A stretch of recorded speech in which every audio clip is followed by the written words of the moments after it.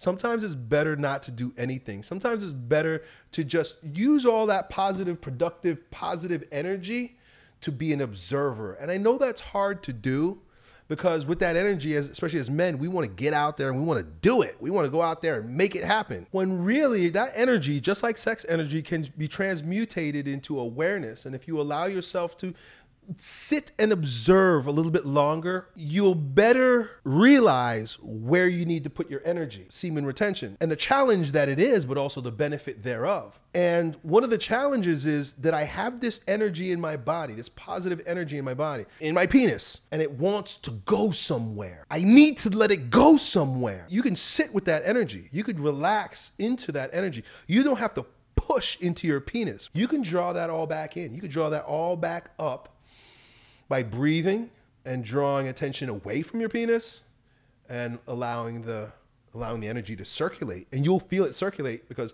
as it re- withdraws from the penis and you breathe you'll start you'll even feel tingles. I feel tingles in my body sometimes